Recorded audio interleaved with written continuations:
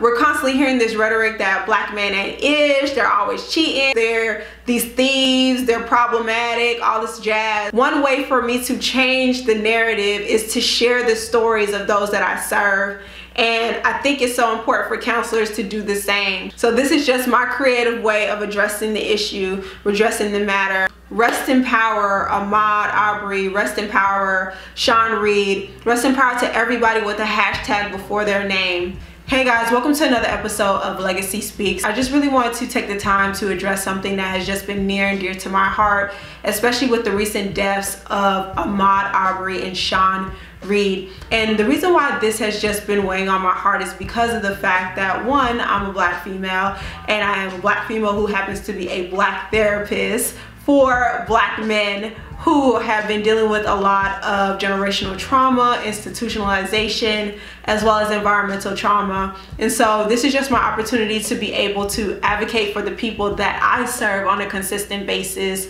and just to give insight into cultural competency overall. But before we dive right in, I need you to hit that subscription button below. That way you can stay up to date on newly released content on a regular basis. So let's dive right in. So before we get into the nitty gritty of everything, like I mentioned before, I just want to give you some context with regards to cultural competency. As counselors, we abide by the American Counseling Association's Code of Ethics. And as you look throughout the entire document, you will see the importance of cultural competency. We understand that the counseling field initially started off by focusing on white men and white men in particular who were either veterans or individuals who were looking for employment but as the field grew, we began to incorporate women and all these other individuals of diverse cultures. Recognizing that the stuff that we deal with on a regular basis is of the human condition, but also understanding that the things that we deal with on a regular basis are culturally specific. And when we talk about counseling overall, I hate hearing counselors that say, Oh, I don't see color. But that is a huge problem because one, if you don't see color, then you don't see your client. You're completely negating all of the other dynamics that are associated with the identity of your client. For example, when I first started off in my career, I began in partial hospitalization intensive outpatient, which is also known as PHP IOP.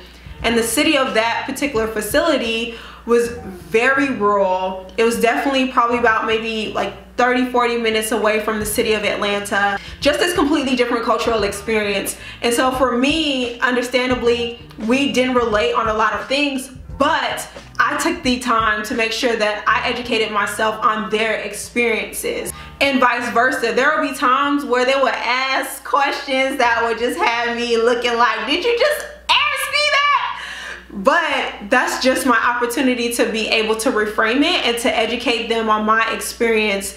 And so for those of you who are building therapeutic rapport or are trying to maintain and establish those relationships with your clients put them in the expert seat. If you don't know anything about their culture, if you don't know anything about their experience, have them explain it. A lot of times they're just looking for somebody to ask them the right questions. So if you are struggling in that area of cultural competency, one, take the time to educate yourself, but also put your client in the expert seat so they can let them let you know how it usually goes from their experience okay? Going back to the ACA code of ethics not only is it our responsibility to educate ourselves but it's also our responsibility to take the information that we have and make it culturally relevant. Like I mentioned before this field started off with servicing individuals of Caucasian descent, of European descent. And so a lot of the research and a lot of the methodology, a lot of the interventions that were initially created were not created with us in mind. And when I say us, I mean people of color in mind. And as a matter of fact, a lot of research doesn't even really provide a sample or a large enough sample that surveys what we experience as a Latinx community, as black and brown community, the Indian community, the Asian population. A lot of the individuals that are either surveyed or are recruited for these research opportunities, they predominantly come from white America. And so just being mindful as a therapist, recognizing that we need to take these interventions and mold them and shape them and alter them, but, but not changing the foundation of it, but making sure that it's relevant to your client and their ethnic background. So really quickly, I wanna talk about my experience as a therapist of color. First of all, y'all know I am in the city of Atlanta, hot Atlanta, one of the blackest cities in the United States. It's also known as the Black Mecca, okay? A lot of individuals flock to Atlanta because of the world-renowned black excellence that just resides in the city. The reason why I'm so passionate about this is because I see that in the mental health space, we have a tendency to forget about the mental health of black men. And unfortunately, that proves to be a detriment to our communities, right? A lot of the issues that I tend to cover with those on my caseload include identity issues, institutionalization, a lot of environmental trauma, like I mentioned. And I know we say environmental trauma, but basically a lot of hood trauma, okay? Whether it's uh, criminal and addictive behavior or just being forced into a lifestyle that was not of their choosing, but you know, survival of the fittest kind of thing. Also touching on self-esteem and masculinity and challenging those gender role norms that have been literally pressed upon them since birth. Like I mentioned before, I love having the opportunity to give them that safe space Oftentimes I'm dealing with my clients on a one hour basis. So I typically see them for about 50 minutes to an hour once a week. And they're still trying to get acclimated to dealing with these thoughts, feelings, and emotions and what it's like to process and what it's like to share openly about what they're feeling and what they experience. And what I do brings so much joy because every time I get an opportunity to help usher a person into their healing or they get some new insight, some new revelation, or they just just have these profound breakthroughs. I just, ah, I just adore and I love it. It makes me think about my father. It makes me think about my brother and it just makes me think about all of the families that they're connected to when you help a person heal not only are they going through this beautiful wonderful journey but they take the same information that you teach them and they pass it on to their family members. So you have men who are being reintroduced back into the home and they're teaching their kids to be emotionally healthy and then their kids teach their kids to be emotionally healthy and so on and so on. And so if you look at a tree you have all these different branches all these different leaves and you get to see the power of just this mindset shift.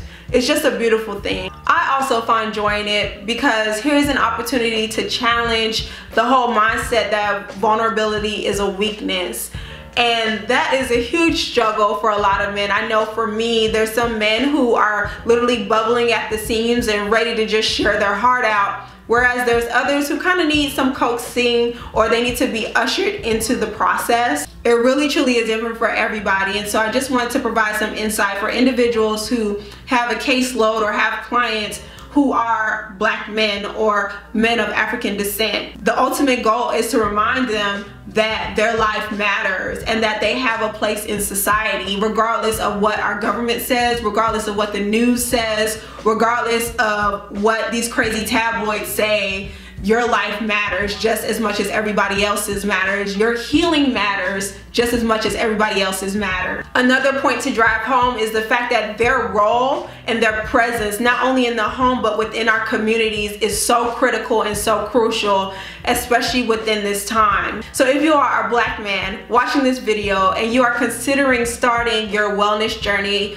or just looking into counseling or therapy or whatever the case may be, I just want to remind you how amazing you are. You are appreciated, you are worthy, and most importantly, you are loved. All right guys, that's pretty much it. I just wanted to take the time out to reaffirm my black and brown men out there who are looking to start their counseling journey or are currently on their healing journey right now. And then I definitely wanted to address counselors out there who are currently working with black and brown men right now please please please do your part by educating yourself with this particular population. Do your due diligence to invest in yourself. That way you are meeting the needs of your clients okay? But i really do hope you enjoyed this video. Thank you so much for tuning in to another episode of legacy speaks. Don't forget to like comment subscribe and share and definitely stay connected via legacy SPKS on everything.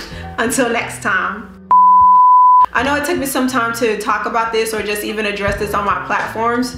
One, it is a little bit difficult for me because of the population that I serve, but also recognizing that I have a younger brother and when I think about Ahmaud Arbery, I think about just the well-being of my brother. And it, and I would not know what to do if something happened to Drew, like dead ass. I, I would literally be riding the F out for my brother seriously and even with the well-being of my father. And so this is just my way to be able to advocate for our black men out there especially for those who are really trying to heal